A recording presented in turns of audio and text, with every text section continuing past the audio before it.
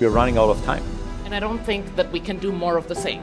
It's hot outside. It gets a little bit complicated. There's a lot of studies out there. It's, a multi generational challenge. Uh, we had a heat dome. It was 10 days of 100 degree plus. We're not building for 50 years ago, we're building for 50 years from now. We tend to talk about the energy transition like it's one transition.